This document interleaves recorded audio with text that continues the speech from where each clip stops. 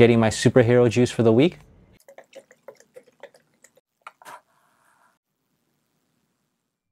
Hello everyone, I'm Michael T. Chuang and welcome to a day in my Bobo life.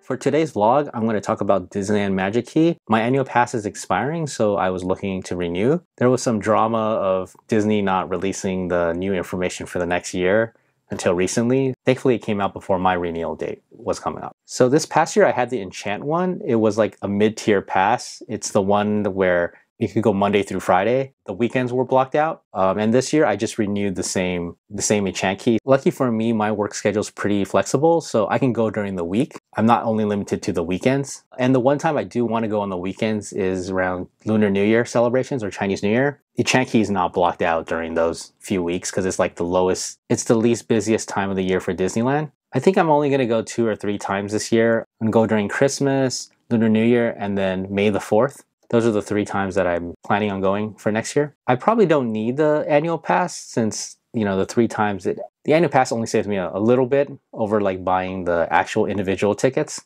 But I just always want the flexibility in case some friends come into town and then an annual pass lets me just to go to the park if they let me know early enough. I'm happy I have another year of going to Disneyland. I have another year of getting churros and walking around Avengers Campus. Two weekends from now is D23 Expo. I can't wait for the panels. I hope they give an update on the Avengers e-ticket ride. If you see me there, come by and say hi.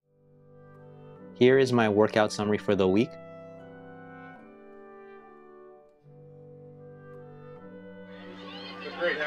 And time to start my MCU marathon again. Another 8 vlogs completed. It's a wrap. From my 688th vlog, shout out to my carolers and have a magical day everyone.